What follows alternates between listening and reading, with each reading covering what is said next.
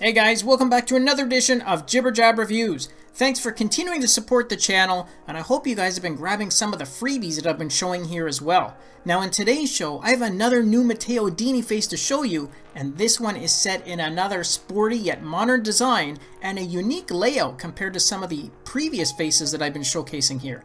And don't forget that I now give away 8 coupons in my reviews, with 4 winners being selected here, and 4 more will be chosen from the Watchface community website, so if you haven't signed up there yet, then check the video description for the direct link. Okay, let's go have a closer look at Matteo's newest creation called MD147.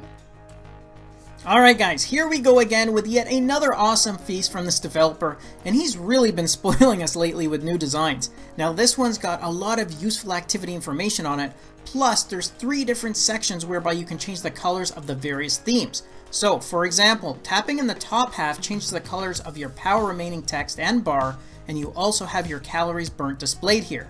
Next, tapping on the heart rate icon to the left switches between a red and white text, plus you have a heart rate intensity zone gauge just against the bezel. And tapping at the bottom of the face allows you to change the colors of the step goal progress bar, and within that same area, you have your total steps count as well as your distance moved. The date is shown just above the digital time, which can be set in a 12 or 24 hour format, and you have a red sweeping seconds hand that circles the bezel, and this one also comes equipped with 7 app shortcuts, with 6 being fixed and 1 is customizable. And lastly, this comes optimized with a colorful AOD mode.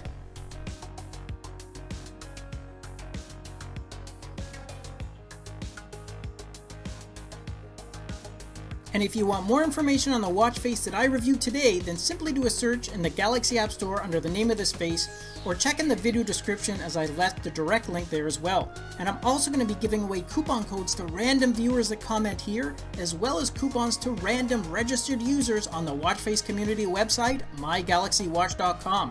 So you have two chances to win, both here and on the website, but remember, you have to be a registered user in order to participate, so make sure you go sign up. As always, good luck to everyone, and I'll catch you guys in the next episode.